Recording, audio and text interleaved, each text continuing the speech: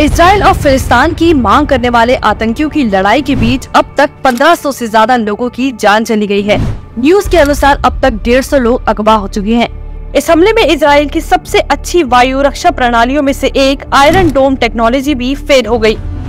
ये वही इसराइल है जिसकी मिलिट्री पावर की तारीफों की कसीदे पड़े जाते थे। लेकिन आज हाल ये है कि इसराइल की पिछले 50 सालों में से ये हमला सबसे बड़ा इंटेलिजेंस फेलियर साबित हुआ है। क्यों हुआ ये इंटेलिजेंस फेलियर इसके पीछे सबसे बड़ा कारण है एक राष्ट्रवादी पीएम नेतन्याहू की सरकार गिराकर अजब गजब गठबंधन करके पूर्व पीएम नफ्ताली ने अपनी सरकार बनाई।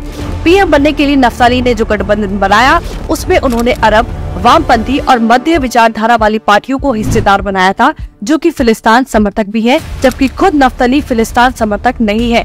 और इसी का नतीजा हुआ कि आज इसराइल पर यह हमला हुआ और लाखों लोगों की जान खतरे में है। अगर आप अभी भी नहीं समझे हैं कि हमारा इशारा किस तरफ़ है तो आज भारत में भी देखा जा सकता है कि इसराइल की तरह सारे विपक्षी अलग अलग विचारधारा रखने वाले मिलकर मोदी जी जैसे राष्ट्रवादी पीएम को हटाना चाहती है। ये जानते हुए कि 2014 के बाद से लेकर अब तक देश में हमला बम धमाके न के बराबर है। आतंकियों की एक एक मूवमेंट का पता आज भारत को है, क्योंकि देश में ऐसी सरकार है जिसने इंटेलिजेंस को इतना मज़बूत किया हुआ है।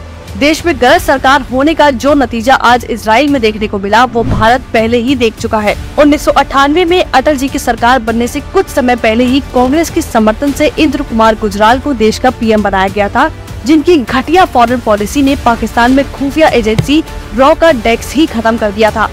जिसका नतीजा ये हुआ कि जैसे ही गुजराल का कार्यकाल खत्म हुआ, उसके कुछ ही महीने बाद पाकिस्तान ने कारगिल में घुसपैठ कर दी, जिसकी जानकारी भारत को नहीं मिली, क्योंकि गुजराल की कांग्रेस वाली सरकार ने बेतुके तरीके से इंटेलिजेंस स्ट्रक्चर को ही खत्म कर दिया था।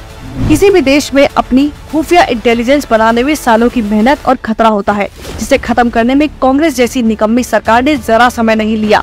अगर देश में एक गलत सरकार आती है तो इसराइल वाला हाल भारत का भी हो सकता है। अभी भी किसी भी राज्य में कोई गलत सरकार आती है तो ऐसी साजिशों का खुलासा होता रहता है। वहीं दूसरी तरफ़ मोदी जी की सरकार है, जिसने ऐसे किसी मामले में सुरक्षा से खिलवाड़ होने ही नहीं दिया। फिर चाहे पीएफआई हो, जिसका पता चलते ही उसके प्लान को निस्तेनाबूद कर दिया, वही राम मंदिर पर भी होने वाले हमले की प्लानिंग करने वाले आतंकियों को भी तुरंत गिरफ़्तार कर लिया गया। 2014 में देश ने सही सरकार चुनी, इसलिए आज भारत पर हमला तो दूर, कोई उसका नाम लेने से पहले भी सौ बार सोचता है।